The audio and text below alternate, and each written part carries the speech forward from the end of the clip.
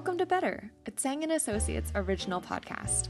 I'm your host, Jane Park, and together we explore practical strategies for living a more mindful and fulfilling life. Today, we're talking about getting into a board of directors.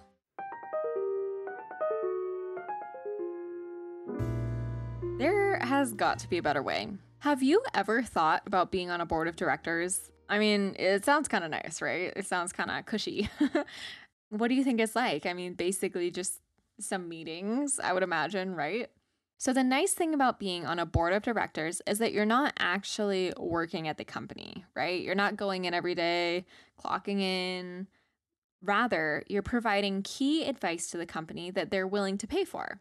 And obviously, sure, like big companies, I'm sure, pay a lot of money. But smaller companies still need advice, right? They can't afford as much, but maybe one meeting costs them a $1,000 a year, right? They can pay it.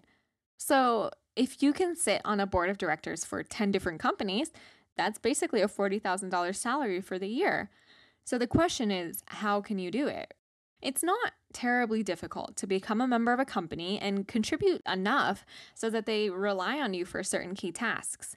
It could be customer service based, it could be the website or social media.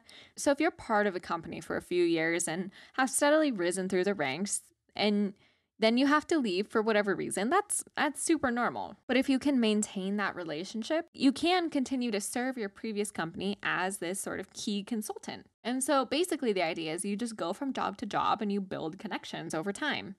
Now, effectively, in 20 or 30 years' time, you build up enough connections and maybe each company is paying you two to four thousand dollars a year for this key service you provide. You don't have to save any of your regular paycheck because you'll have this continuous, nearly passive income. So, what do you think?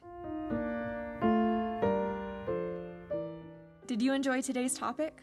We aren't the ultimate experts, but we do love sharing our personal journeys, what we've been learning along the way, and in bite sized portions too that fit easily in our busy days.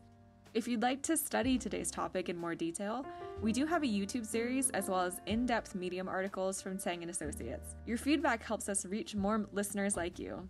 See you later.